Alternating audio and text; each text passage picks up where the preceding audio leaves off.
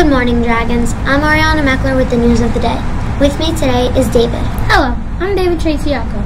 Today is Thursday, September 12th. Please rise for the Pledge of Allegiance. Ready? Begin. I pledge allegiance to the flag of the United States of America, for which is republic, for which it stands, one nation, under God, indivisible, with liberty and justice for all. Today's weather will be partly cloudy with a high of 81. Here are the birthdays for today.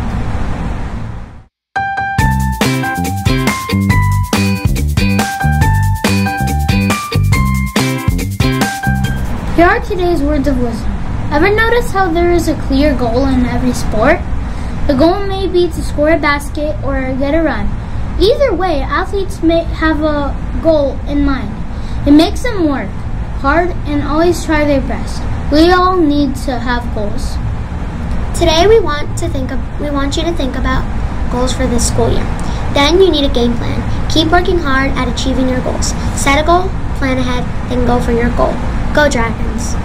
Well, those are the announcements for today. Remember, step up to learning and kindness at Clark Mills. On bus 90 late, as the bus is late. We will let you know once it arrives. We're just gonna do that last bit again. Ready? In three, two, one.